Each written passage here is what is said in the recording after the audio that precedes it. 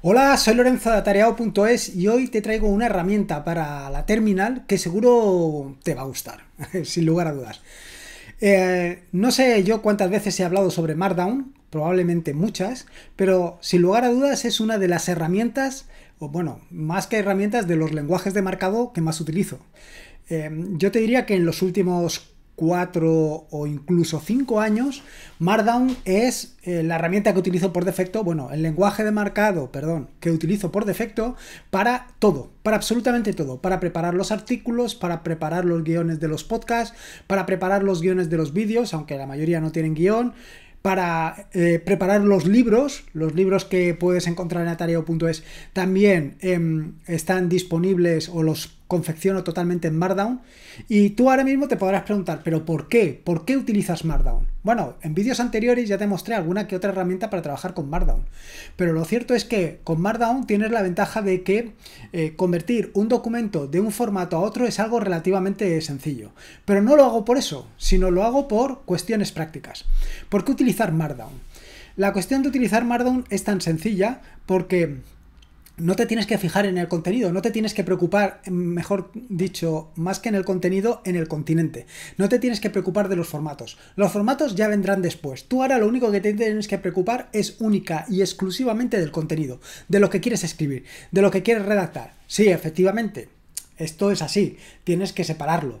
Quiero decir que tienes que separarlo en capítulos, en subcapítulos, en párrafos, e incluso pues si quieres también puedes marcar algunas palabras como negritas o como cursivas o incluso como tachadas y en su caso también poner referencias externas, eh, quiero decir enlaces a otras páginas web o a otros sitios. Todo eso es conveniente hacerlo. Todo eso es conveniente hacerlo porque eh, evidentemente vas a tener el documento mucho mejor. A partir de ahí, a partir de que ya tengas confeccionado el documento con esas características, el siguiente paso es convertirlo, convertirlo al formato que quieras. ¿Qué formato puede ser? Pues un formato de Word, LibreOffice, PDF, eh, látex, lo que tú quieras. Esto ya es independiente. O incluso si quieres convertirlo a EPUB o a Mobi o al formato que tú quieras. Cualquier opción está al alcance de tus manos. Pero eso como te decía anteriormente, viene a posteriori. No te tienes que preocupar de esas cosas. Tú simplemente preocúpate en escribir. ¿Qué es lo que sucede? El primer problema con el que me puedo encontrar es que, claro, yo escribo todos los artículos, por ejemplo, que puedes encontrar en atareado.es, todos esos artículos, como te digo, los escribo en Markdown. Como por ejemplo lo que te voy a mostrar a continuación. Ahora verás. Voy a quitarme, a ver si estoy aquí, voy a quitar esta y voy a listar aquí, eh, voy a empezar por ejemplo en el 2020 y voy a listar uno, por ejemplo CD59. A ver. No, CD57, por ejemplo. 57. CD57 y 3. A ver. BIMI 3. Vale. Eh, vaya, por Dios. Pues vaya porquería de artículo. CD. Punto, punto barra 51. A ver el 51. El S-LA. Pam Device. Pues Pam Device tampoco va a tener nada. A ver si encuentro alguno que esté bien. Eh, eh, eh, CD28.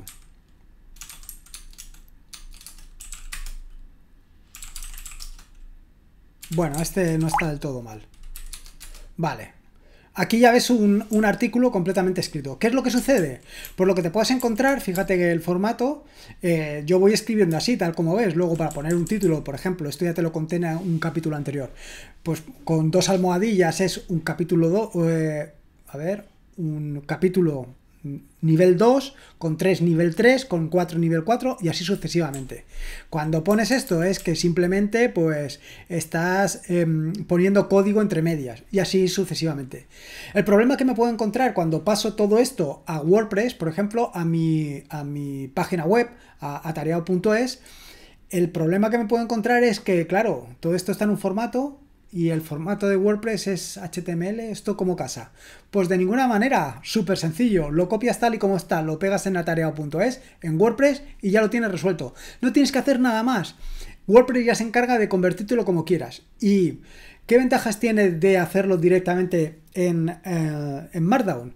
Pues que los estilos van a ser coherentes. Quiero decir, eh, muchas veces eh, nos acostumbramos a poner título 2, por ejemplo, el título de nivel 2 eh, subrayado, o con negrita, o con negrita y cursiva, o de tamaño 12 o de tamaño 14.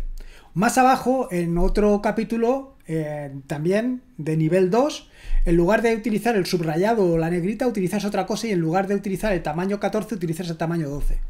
Lo suyo es utilizar estilos, pero no siempre lo hacemos así. Aquí, eh, utilizando Markdown, no te tienes que preocupar, porque tú simplemente vas a poner dos almohadillas y luego ya vendrá como tenga que venir. Como ves, son todo ventajas. Yo lo que pasa es que me he acostumbrado a trabajar directamente en Markdown y nunca previsualizo el resultado final. Bueno, son formas de trabajar. A mí me gusta hacerlo así y cada uno pues como, como quiera. Voy a cerrar esto y me voy a poner en pequeñito Ahora ya estoy aquí. Y voy a salirme aquí para enseñarte la aplicación que te traigo hoy. Y me voy a quedar aquí. Vale, la aplicación que me traigo hoy se llama Glow. Y es una aplicación desarrollada pensando en ver precisamente los em, archivos Markdown en el terminal. Entonces voy a iniciarla, Glow, sin más. ¿Qué es lo que está haciendo? Si te fijas, lo primero que ha hecho ha sido recorrer todos los archivos que se encuentran, todos los archivos, bueno, más que recorrer, no, buscar todos los archivos que se encuentran en el directorio en el que estoy y en los directorios eh, que se encuentran por debajo. Eso por, por, un lado. Si te fijas, me ha traído 797 archivos. Voy a salir de aquí. Sin embargo, en el directorio en el que me encuentro solamente hay uno, que se llama artículos. Bueno, abro otra vez Glow. Bueno, si escribiera Glow artículos, directamente me mostraría el contenido. Voy a abrir, de nuevo, voy a abrir Glow y ahora me carga todos los archivos que hay. Si quisiera ver, por ejemplo, este primer archivo, simplemente tengo que meterme en él. Ya lo tengo, ya estoy viendo el contenido de ese archivo. Voy a salirme de él. Vamos a... Eh, si recuerdas en vídeos anteriores, eh, dirás, ostras, ¿y ahora cómo me desplazo? Pues te desplazas igual que te desplazas en BIM. Por eso muchas veces te comento la ventaja de conocer como mínimo los atajos de BIM. Luego ya irás profundizando, pero como mínimo los atajos de BIM, porque te va a abrir muchas herramientas, o sea, te va a abrir, te va a dar la posibilidad de trabajar con muchas herramientas de una manera relativamente sencilla. Bueno, me voy a ir bastante más abajo, bueno, mejor que irme más abajo, lo voy a hacer salir de aquí y me voy a ir a 2020. Y de nuevo voy a utilizar Glow. Vale, ya tengo aquí Glow, aquí me, ha traído 44 y ahora, ¿ves? Me lo pone con su formato y utilizo las mismas. Con A, con U voy para arriba, con D hacia abajo, con J bajo una, con, tal, con K subo una, con H voy hacia atrás Ahora estoy dentro, ¿ves? Y claro, todo esto me lo pone, fíjate, eh, con qué formato, todo perfectamente. Este sería eh, la referencia y el contenido de la referencia. Aquí si pusiera control, me iría a la página. ¿Ves? Todo perfectamente detallado. Los que están eh, utilizando, por ejemplo, código, como el que ves aquí abajo, pues lo tienes. ¿Vale? Pues aquí tienes una cosa. Vamos a, ver alguno más, control D, pero para que te hagas una idea, más que nada, 40... Yo creo que estos no tienen gran contenido. A ver, 45. Bueno, fíjate. Es que es brutal y el formato que te muestra está muy bien. ¿Qué pasa? Ahora voy a hacer otra cosa. Me voy a ir a mi directorio preferido y voy a abrir otra vez Glow probablemente, mira, aquí me trae un archivo, porque también trae archivos de Git, es que es espectacular. Vale, Q. Y ahora lo que voy a hacer es otra cosa, voy a poner aquí cosa, perdón, touch, cosa punto, cosa punto, uy, cosa punto md, ahora. Y ahora otra vez glow, ahora me crea aquí los dos, tengo este y este. Vamos a poner algún contenido en cosa. Eh, por ejemplo, un eco hola mundo. Cosa.md. Vale. Otra vez abrimos Glow. Ahí tenemos el Hola Mundo. Y ahora lo que podemos hacer es otra cosa interesante, que es un stash. Fíjate que yo aquí arriba tengo tres stash. ¿Vale? Pues vamos a poner un cuarto stash. Bueno, está stasheado, ya está stash. Si te fijas ahora en la derecha han aparecido cuatro stash. Si me muevo hacia la derecha, con tap, aquí lo tengo. ¿Qué es eso del stash? Bueno, pues el stash es ni más ni menos que te lo sube a la nube pública donde está em, precisamente Glow. Y lo puedes alojar allí perfectamente. No te tienes que preocupar de lo que haya alojado allí porque está encriptado de punta a punta. Quiero decir, eh, lo que tienes en tu equipo solamente va a subir allí eh, en el caso, o sea, solamente se puede leer utilizando una clave público-privada, donde tú tienes la clave pública, perdona, la clave privada y ellos tienen la clave pública. Cuando lo vas a subir, lo subes cifrado y cuando lo quieres bajar, lo bajas y con la clave público-privada lo, lo, abres. Así de sencillo. Si yo ahora abro cosa y para que veas que efectivamente no lo tengo ahí, me voy a ir a otro directorio y voy a abrir otra vez Glow.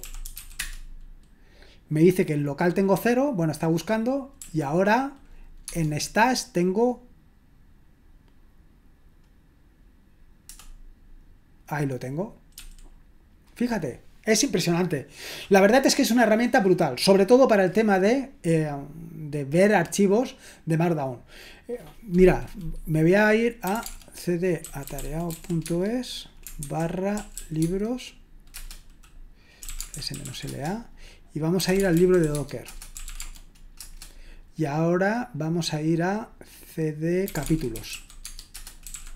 Vale, aquí lo tengo. Y ahora voy a hacer glow Fíjate, aquí ya lo tengo perfectamente en eh, el libro, uno de los libros, lo tengo aquí completamente disponible. Ya ahora lo puedo abrir y puedo ir consultándolo sin ningún tipo de problemas. Incluso, como te digo, también podría ir y abrir cualquier página de las que puedes ver aquí. Es que es perfecto. Para esto, para el tema de leer documentación, te viene perfecto. Por supuesto que eh, tienes distintas opciones. Igual que yo te lo estoy mostrando completamente en oscuro, tiene opción para mostrarlo en claro. También tienes opción para eh, definir o delimitar el ancho de la pantalla. En fin, que tienes una barbaridad de opciones. Una barbaridad de opciones para leer de una manera cómoda, porque ya puedes ver que es súper legible y práctica eh, cualquier documento que tengas en Markdown. Así que nada, ahí te dejo otra herramienta que puedes disfrutar como si no hubiera mañana. Venga, un saludo y nos vemos en el próximo vídeo.